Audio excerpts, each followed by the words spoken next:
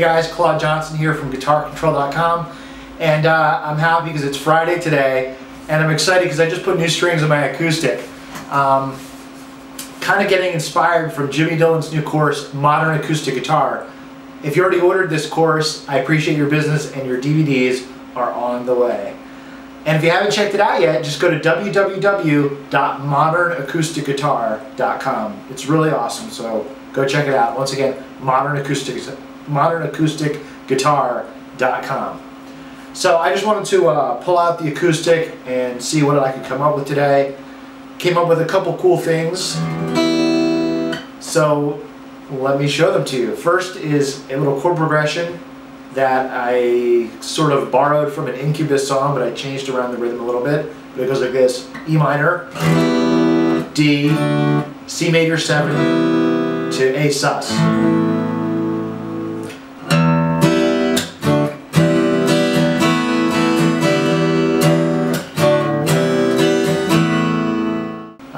So just a standard E minor chord, D is like a little passing chord, and then C major 7, which is like a C but you lift off your first finger. So you just have your uh, ring finger on the third fret A string, middle finger on the second fret D string, and then A sus, which is a great chord. Know, if you're bored with your A major, A minor, you know, try throwing an A sus. Very nice open sound. I got my middle finger on the second fret of the D string, ring finger on the second fret of the G string, playing the uh, A string and the five notes, or five strings. Basically everything but the low E, low e string. So that's a great chord. You can throw it in with other uh, chords. Uh, here's here's like a version of like an A to G progression based on that. It'd be like.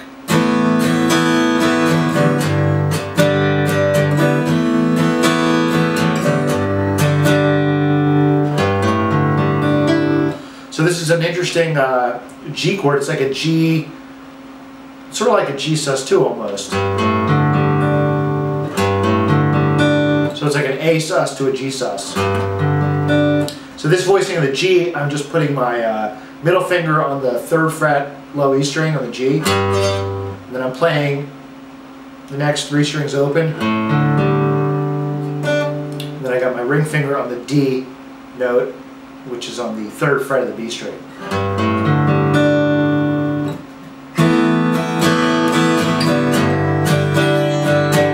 So it's unusual because you have both the low G and the A ringing open.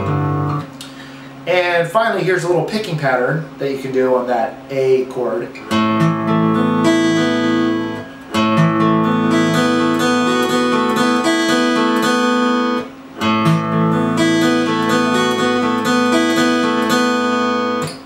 Okay, so I'm basically going right up the chord and then back down.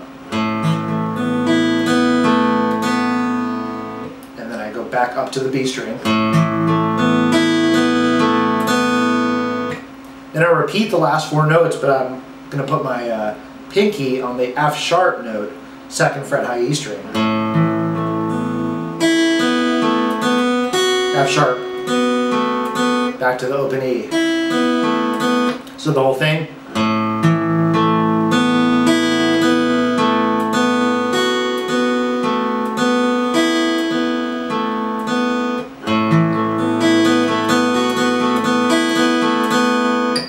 And then on the G chord, pretty similar pattern.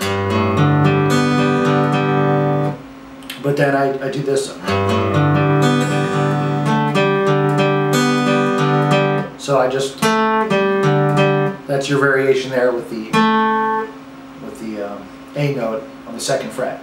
So check the tabs, I'll give you that pattern. And um, possibilities are endless. I encourage you to break out that old acoustic guitar if you've only been jamming electric for a little while, like me.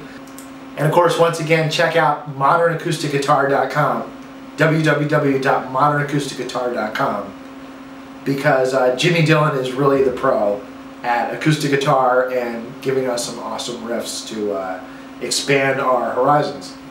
All right, so have a great weekend and uh, catch you on the flip side.